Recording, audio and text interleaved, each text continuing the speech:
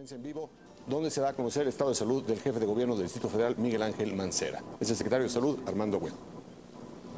Doctor Armando Agüet, secretario de Salud del gobierno del Distrito Federal. Doctor Carlos Riera Quinquel, cirujano cardiovascular. Doctor Joel Estrada Gallegos, cardiólogo intervencionista. Doctor Enrique Martínez Flores, cardiólogo electrofisiólogo. Doctor Germán Ordóñez Espinosa, cardiólogo intensivista. Antes eh, de dar uso de la palabra al doctor Carlos Riera Quinkel, quien habrá de dar a conocer a ustedes el estado médico del doctor Miguel Ángel Mancera, jefe de gobierno del Distrito Federal, me permito dar lectura a un comunicado que hace unos minutos el propio jefe de gobierno me ha instruido transmita a todos ustedes. Doy un saludo afectuoso a todas y todos y agradezco las muestras de afecto y solidaridad hacia mi persona. El día de hoy, por la mañana, instruí al secretario de Gobierno a efecto de reunir al Gabinete de Seguridad para conocer, como lo hacemos todos los días, del estado que guarda la ciudad. Tanto el Gabinete Legal como el empleado han recibido instrucciones precisas de las acciones que habrán de realizar en estos días. En todo momento estaré atento durante mi convalecencia a efecto de que se dé cabal cumplimiento por los funcionarios respectivos a las instrucciones que he dado y atiendan de forma exacta las necesidades diarias de nuestra ciudad.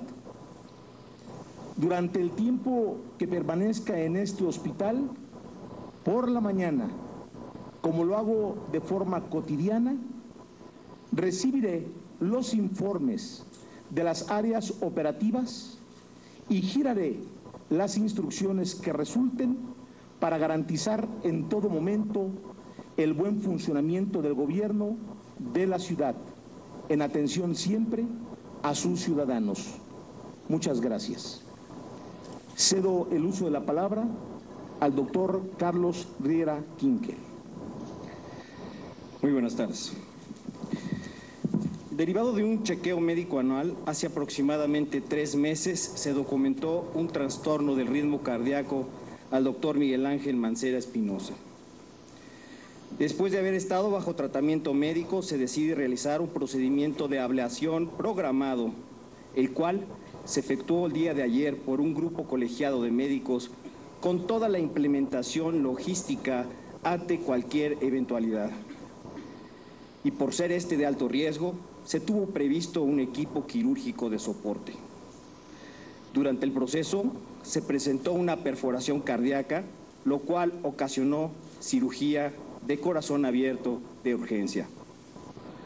Una vez concluida la intervención de forma exitosa, fue trasladado a la unidad de cuidados intensivos, donde su excepcional condición física ha permitido la evolución favorable anticipada a lo clínicamente esperado.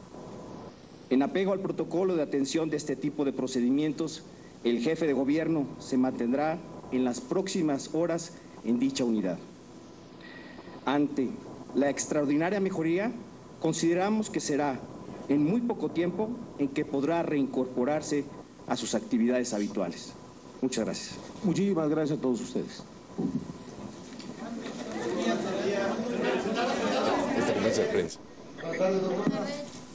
¿Cómo andan, hombre? Ahora no los puedo atender personalmente, me van a tener que disculpar. ¿Cómo estás? Bien, la verdad me siento bien me siento eh, pues con mejoría. Yo, si no es porque me pude ver un poquito la herida, no estaría muy convencido de que me intervinieron, pero sí, la verdad me siento muy bien, estoy, estoy tranquilo, vamos a estar muy pendientes dando las instrucciones a todo lo que se requiere respecto del funcionamiento y pronto los saludo otra vez. ¿Cuánto tiempo va a estar aquí, doctor? Eh, espero que poco, espero que poco, la verdad es que vamos a seguir las instrucciones que nos den los médicos, las enfermeras y yo espero que con eso pronto resultemos ya eh, con una con la posibilidad de estar en la oficina otra vez.